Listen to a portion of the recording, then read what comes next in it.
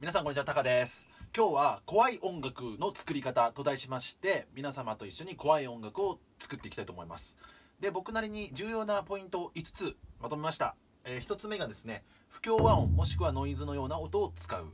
もう1つが繰り返しもしくは急激な変化を使う、えー、もう1つが音の強弱をはっきりさせた部分を作る、えー、もう1つがピッチをずらすもしくは揺らす。で最後が声のサンプルを使う。この5つを使って皆様と一緒に怖い音楽を作っていきたいと思います。はいじゃあ早速やっていきたいと思います。やっていきますよ。オムニスフィアでまずノイズ的な音を入れてみたいと思います。こういうねの音程のあるようなないようなノイズのようなパッドのようなそういうの色がオムニスフィア多いんでね使えますよね。マジで。神音源です。もう怖もうこれで完成でいいんじゃないかっていうぐらい怖いですねこれね。もうこの音色が。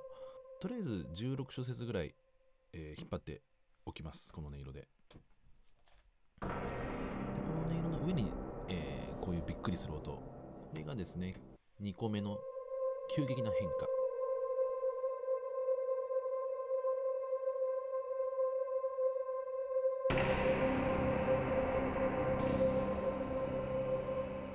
おびっくりした。自分で入れといてびっくりしました。これは怖いぞ。怖い。泣いちゃう感じですね子供とかは。で3つ目。これ。これこれこれ。低音だけど高音もなんか入ってるやんじゃなやつ。何かが忍び寄ってきてる感じのね。怖い低音を入れました。でこのノイズ冒頭の入れてるノイズを途中から半音階でぶつけて不協和音っぽくさらにしています。はい4つ目。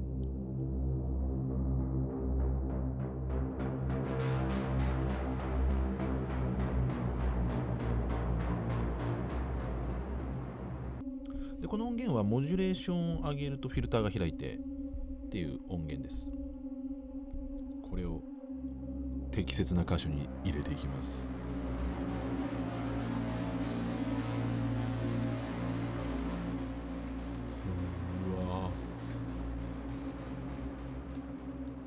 怖 怖これねえっ、ー、とモジュレーションは上げてるけどピッチベンドは下げてるっていう感じにして不気味さを演出しています。で5つ目ストリングスなんだけどかなりかなり不穏な感じのやつをさっきのノートをコピーします。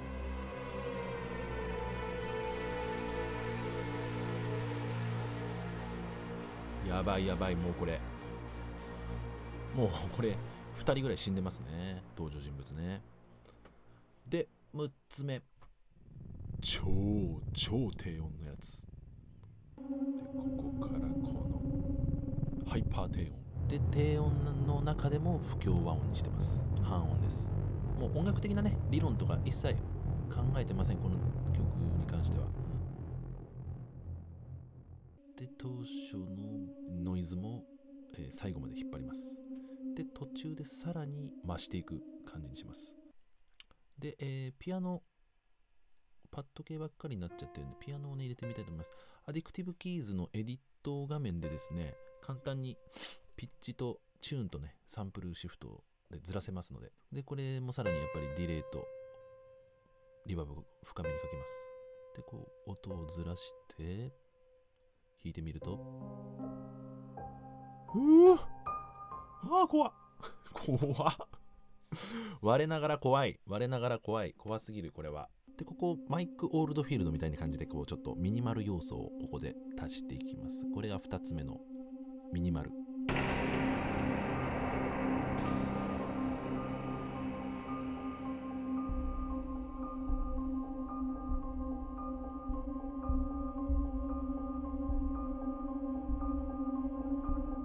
ってミニマルで繰り返していながらもクオンタイズはせずにあえて気持ち悪い感じを残してます。めちゃめちゃ怖いです。で5つ目の冒頭のご紹介した5つ目の声のサンプルを使うというところをやります。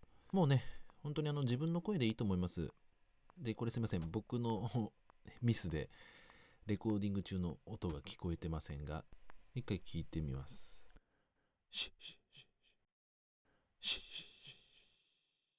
またディレイとリバーブをかけますこれ、えーリバーブ EOS2 というオーディオダメージというメーカーの EOS2 というリバーブこれおすすめですあのーディレイなんですけどプリセットもねかなり豊富に入っているのでそこから探っていくのもいいのではないかなと思いますとりあえず仮でどんどん置いてきます場所は後で決めますでこのプリセットちょっと良さそうなんでこれをですね8分普天8分音符にしてここにさらにですね、えーロジックの付属の ピッチをいじれるプラグインで、えーピッチシフターというやつなんですけれどもそれをかけてみたいと思います。これはねミックス100%でかかるようにしてセミトーンってやつはどんぐらい上げるかもしくは音を下げるかを決めれます。はい怪しい怖い。簡単にね声が怖い加工ができます。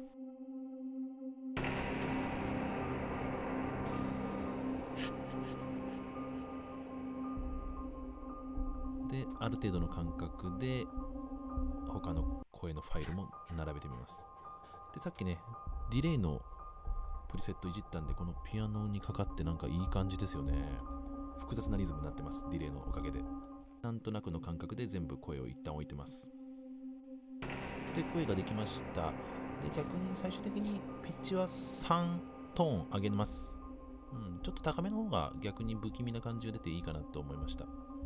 で全体のバランスを見ていきます。決してバランスが良くなるようにではなくてより怖くなるように配置していきます。この声とかピアノの位置とかはね映像があればもちろんそれに合わせることになると思いますが。いやー怖い。あー最後のこの不協和音怖い。いやー我ながら気持ち悪いです。いい意味で。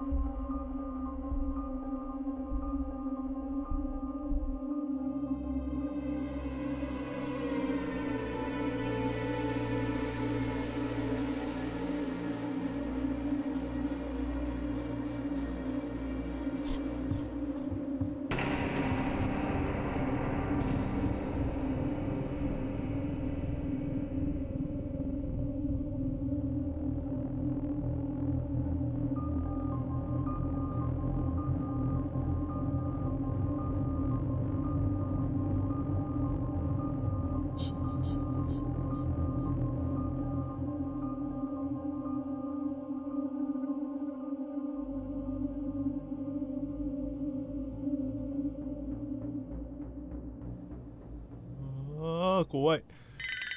皆様いかがでしたでしょうか？